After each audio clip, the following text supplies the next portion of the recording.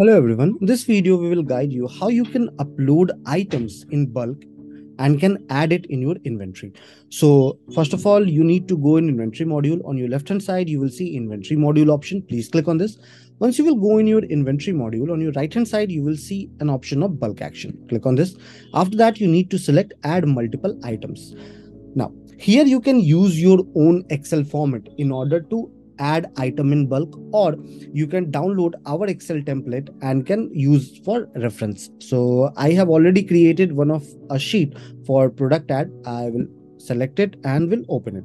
Now here on the next screen you need to map the headers. As because on TranZact if you are using your own excel file you can use the map header feature in order to go ahead and just add the items.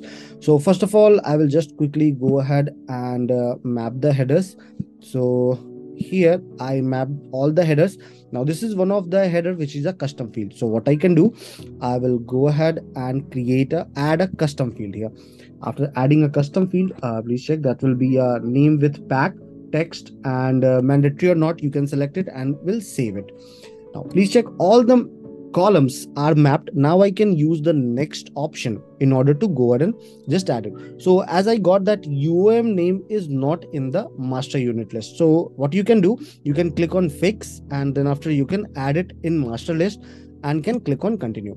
Once i clicked on continue please check two of my items have been uploaded.